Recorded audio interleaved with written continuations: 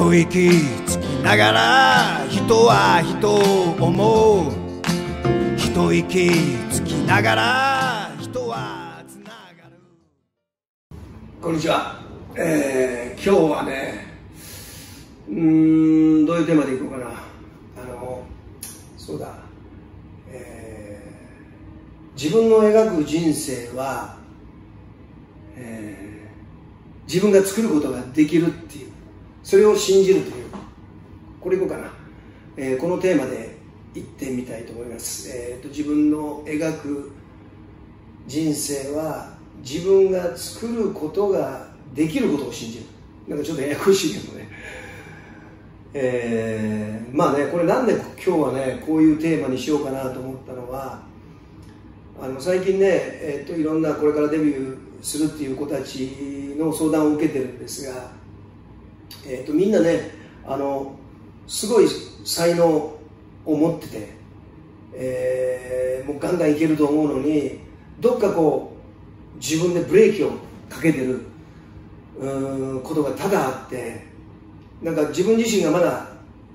えっと、どういうアーティストになるとかどういうこうビジョンをやってどういうふうに進んでいくかっていうのがねあのなかなかこう分からない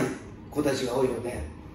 えーそのねちょっときっかけになればいいかなと思ってちょっと今日はこのテーマにしました、えー、と僕がねあのなんだろうこう本当に根底にあるテーマは要するに自分が作ってる世界っていうのはこの世の中にある自分じゃなくて自分自身がこの世の中を作ってるっていうことがもう大前提なんでこれはね僕の基本なんでこれをね、えーまず感じてもらいたいなと。全てはいいことも悪いことも全て自分が映し出してるこの世界だということをね、えー感じてもらえればもう大体俺の言ってることがね、えー、分かると思うので、えーそこをね、えーまずは感じてもらいたいんですが、えーそのねあの今回の自分の描く人生は自分が作ることができるということなんだけど、えー今回そのデビューする時もやっぱりこうなんだろういろんな人たちが携わったりとかいろんな人が協力がないととか、まあ、もちろんそうなんだけどまず自分はそのどうしたいのか。どこに自分自身をその思い誰の代弁者なのか誰のこう思いを引き継いで私自分自身がそれをメッセンジャーとして世の中に伝えていくっていうことをね、えーしっかりとこう感じていかない感じていくことが大事かなと。それはなぜかというとやっぱりその歌手とかあとまあミュージシャンアーティストみんなこうまあそのたくさんの人たちの自分がこうしたこうしてもできなかったなこうしこうしこうしたらよかったなっていうみんなこう誰もがこう思ってると思うのをそれをできる唯一のこうアーティストであり、まあ、ミュージシャン歌手演劇いいろんなそのアーティストがいると思うんですが、まあ、みんながこうその思いをこうなんていうのかなその受けてそれを表現者としてその人たちをこう組み込んで自分たちがそこでこう表現者として伝えられるっていう本当数少ないこう選ばれたこう人種人人種じゃないな人たちなんでね、えーそこをみんながやっぱりこれからデビューする人たちはあのそこをちゃんとこうどう汲み汲み取ってあげれるか。自分はどこのどういう人のためにというかそこにこう思いをそのどれだけ自分がこう代弁者として世の中に伝えてあげるかというのをしっかりとねあのこの心に刻むっていうことがねとっても大事だと思うのでまずそこをやってそれからどう自分はアーティストとしていけるかまあこういうアーティストになりたいなああいうアーティストになりたいなでも全然いいし今まで自分がこうリスペクトしたアーティストをあのー、ねまあカバーしたりでもいいしその人人になりたいと思ってやってもいいし、まあ、もちろんそれぞれね